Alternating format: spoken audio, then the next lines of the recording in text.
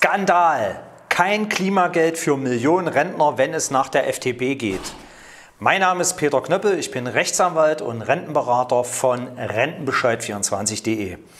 Am 28. Mai 2022 teilte der Bundesminister für Arbeit und Soziales mit, dass es ab Januar 2023 ein soziales Klimageld geben soll.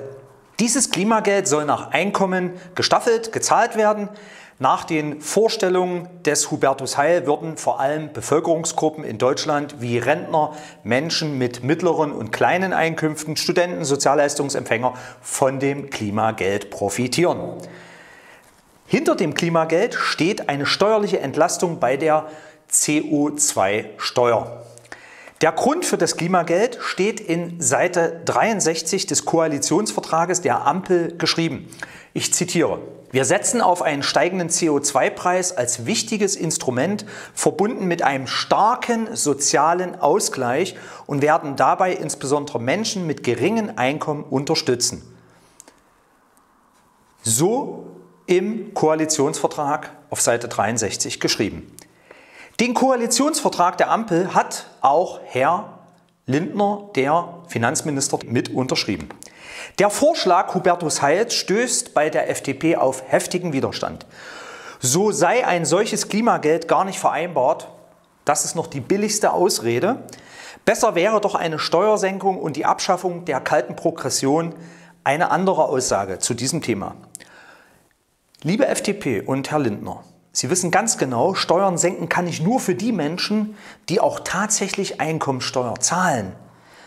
Was aber die FDP um den Herrn Lindner schlichtweg verschweigt, ist, dass rund 14 Millionen Rentenempfänger in Deutschland keine Steuern zahlen.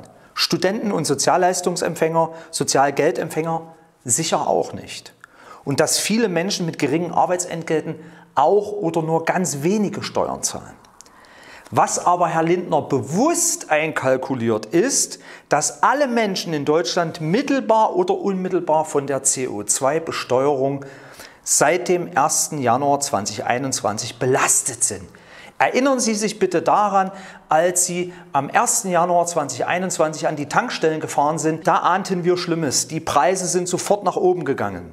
Und eines ist auch klar, alleine nur durch diese Preissteigerung ist es 2021 und auch in Folge jetzt 2022 durch die weiteren CO2-Preissteigerungen hier zu höheren Lebensmittelpreisen und, und, und gekommen. Würde sich der Finanzminister Lindner mit seinem Vorschlag durchsetzen, würden allein Millionen Menschen in Deutschland, wie bei der Energiepreispauschale 300 Euro, von einer steuerlichen Entlastung ausgeschlossen sein, weil sie, wie ich es eingangs erwähnte, gar keine Steuern zahlen würden. Das Klimageld dient als sozialer Ausgleich vor allem für einkommensschwache Menschen, wie zum Beispiel für Rentner und soll gerade nach dem Koalitionsvertrag dazu führen, dass die Menschen wegen der hohen CO2-Bepreisung und der CO2-Steuer einen finanziellen Ausgleich bekommen. Wir alle sitzen in einem Boot. Für die FDP sieht das offenbar so nicht. Rentenbescheid 24 sagt, so nicht, Herr Lindner. Das soziale Klimageld muss für alle in Deutschland gelten und zwar so schnell wie möglich. Näheres zu diesem Thema finden Sie auf www.rentenbescheid24.de. Ich wünsche Ihnen eine rentenstarke Woche. Ihr Rechtsanwalt und Rentenberater Peter Knöppel.